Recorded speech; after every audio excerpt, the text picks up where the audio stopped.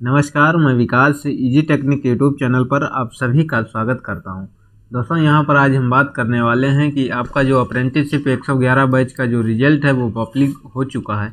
तो यहाँ पर कुछ रिज़ल्ट में प्रॉब्लम आ रही है। तो यहाँ पर आप देख सकते हैं किसी के ट्रेड थ्योरी के जो मार्क्स हैं वो अपडेट नहीं किए गए हैं। तो यहाँ पर जो ट्रेड थ्योरी के मार्क्स हैं वो अभी हाल ही में एक मार्च को अपडेट किए गए थे। यहाँ पर काफ़ी लोगों की कमेंट आ रही है कि ट्रेड थ्योरी के मार्क्स अपडेट नहीं हुए हैं। तो आपको अपने मार्क्स कैसे अपडेट कराना है, उसके विषय में मैं पूरा विस्तार पूर्वक बात करेंगे। उससे पहले आपसे रिक्वेस्ट करना चाहूँगा, यदि आपको वीडियो से इन्फॉर्मेशन मिल रही है तो प्लीज़ वीडियो को लाइक कर दीजिएगा और अपने दोस्तों में भी शेयर कर दीजिए, ताकि उनको भी यह जानकारी मिल सके। यदि आप चैनल पर पहली बार विज़िट कर रहे हैं तो प्लीज़ चैनल को भी सब्सक्राइब कर लीजिए, जिससे आपको आने वाले हर नए वीडियो की नोटिफिकेशन मिल सके सबसे पहले।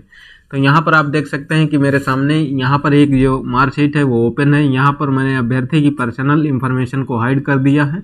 तो आप यहाँ पर देख सकते हैं कि ट्रेड प्रैक्टिकल, यहाँ पर थ्योरी के अभी मार्क्स अपडेट नहीं हुए हैं।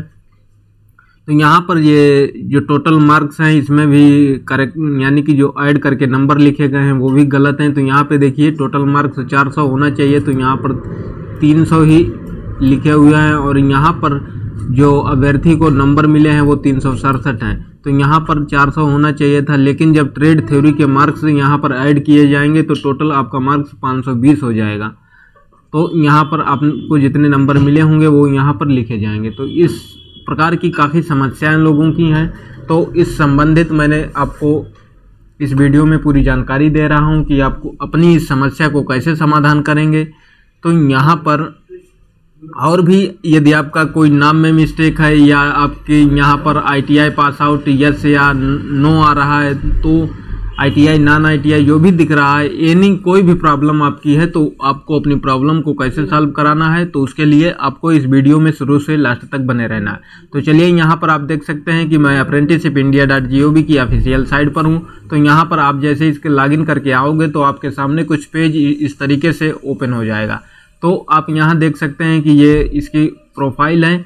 आपको यहाँ पर जाना है।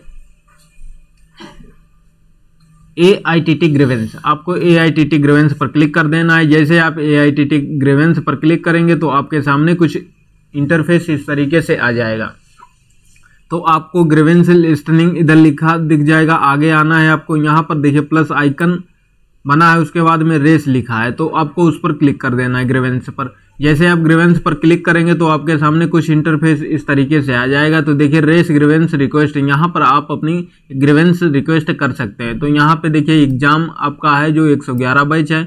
आपको यहाँ पर कैटेगरी चूज़ कर लेना है। जैसे आपका यहाँ पर रिज़ल्ट प्रोसीड में प्रॉब्लम है result proceed with zero mark incorrect mark तो आपको यदि मार्कशीट में नंबर से कुछ मिस्टेक है तो आपको यहाँ पर ज़ीरो या इनकरेक्ट मार्क पर क्लिक करना, कर देना है। जैसे आपको यहाँ पर इस कैटेगरी को चूज़ कर लेना है और आपको यहाँ पर अपना सब्जेक्ट लिख देना है कि आपकी प्रॉब्लम क्या है, आपके थ्योरी यानी ट्रेड थ्योरी के नंबर अपडेट हुए या नहीं तो उससे संबंधित यहाँ पर आपको टाइप कर देना है। आपको यहाँ पर डिस्क्रिप्शन में उससे संबंधित पूरा विस्तार पूर्वक बता देना है। उसके बाद में यहाँ पर है सपोर्टिंग डॉक्यूमेंट आपको यहाँ पर एक सपोर्टिंग डॉक्यूमेंट भी लगाना है तो आप अपना जैसे रिज़ल्ट देखेंगे, उसको डाउनलोड कर लीजिएगा और उसको आपको यहाँ पर अपलोड कर देना है। चूज़ फ़ाइल पर क्लिक करके आपको अपलोड करना होगा। या आप उसका एक स्क्रीन शॉट ले लीजिए साइड पे और उसको भी यहाँ पर आप अपलोड कर सकते हैं। उसके बाद में आपको यहाँ सबमिट है सबमिट पर क्लिक कर देना है। जैसे आप सबमिट पर क्लिक करेंगे तो आपकी ग्रेवेंस जो है वो रजिस्टर्ड हो जाएगी। उसका समाधान आपका जो है जल्दी ही कर दिया जाएगा और आप अपना यहाँ पर प्रोफ़ाइल में आके जब भी आएँगे तो आपको A I T T grievance पर आना होगा तो आपकी जो रिक्वेस्ट होगी वो यहाँ पर आपकी शो हो जाएगी। जैसे आपको यहाँ पर दिख जाएगा तो आपका वो रिक्वेस्ट के विषय में जो प्रक्रिया है वो आगे तक चलती रहेगी और कंप्लीटली सक्सेसफुल कर दी जाएगी। यदि ग्रीवेंस में समस्या का समाधान जल्दी से नहीं हो सकता है तो आप ए का जो ऑफ़िस है, जो आपका रीजनल डायरेक्टर करके आर डी एस डी है तो आप अपने आर डी एस डी में कांटेक्ट करके इसको जल्द से जल्द सही करा सकते हैं। उम्मीद करता हूँ आपको इस वीडियो से इन्फॉर्मेशन मिली होगी।